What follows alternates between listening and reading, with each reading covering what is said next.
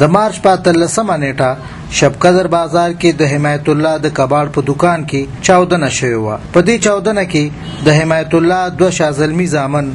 شل کلن ذبیح الله ولس کلن عارف الله او د هغوی ماما علمگیر کوم چې په پی ډی ای کې ملازم هم وو شهیدان شوی وو راډو خلکو راته ټلیفون وکړو او په دوکه راوستم نو خبر وی چې دا یو یادو مامه یادو چې هغه د قصاب سي په دکان کې سماتول هغه مړ او لګید نو موږ را وستو دلته کې او چې بس بیا پیټونو بیا عمل ډکو نو بیا موږ پسې نیو پیښه د حمایت الله دکان کې چاودنه نه خو ځانمرګي بریدو او نه حمایت الله یا د هغه ځامن په نخښه کولو بلکې دا پیښه د ناپوهتیا او د سو پیسو لالچ لپاره د ناپیژانګلو سيزونو خرڅولو په ترڅ کې پیښه شوې وه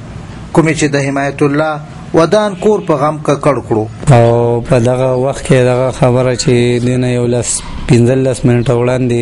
موږ دغه خبره ځای دکان را لمته په دې دوران کې خو چې سروړي نو یو خدای لکان کمرمرو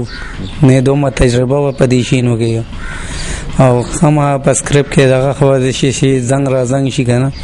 هغه دوی غشته پیښوي نه دی بیا دغه خبره دوی کې دي چې هغه د سپیسه کوشش کوي نو په دې دوران کې دغه خبره چې زه خو خپل نو مو هو دوی چې سپی ما په کوله دغه خبره به بلاستینګ شوی دی چانم نور دي سلوډ لونه دي نارینه نارینه پکې نشته بس لونه پاتې شو نارینه دغه دوه کسانو چې الله واغشت دی نقصان نم ټول خلک خبر دی ځکه چې درې حادثه وته एकदम په یو دغه کې راغلي نو حکومت له پکار دي چې دا شهید پیکیج کې دي ته حصہ ورکړي شي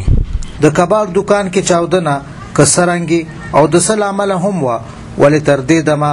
کوم حکومتي یا عوامي مشرانو د حمایت الله تسلی ته هم ندی راغلی باید چې دا وخت او په دې حالاتو کې د خپل روزګار په شمول د ژوند په هغه ټولو کارونو کې د ډیر فکر او احتیاط نه کار واخیستی شي چې بیا لپاره کوم یو داسې کور د داسې دردېدلې پیښې ښکار نشي احمد علي خان خیبر نیوز شپکدر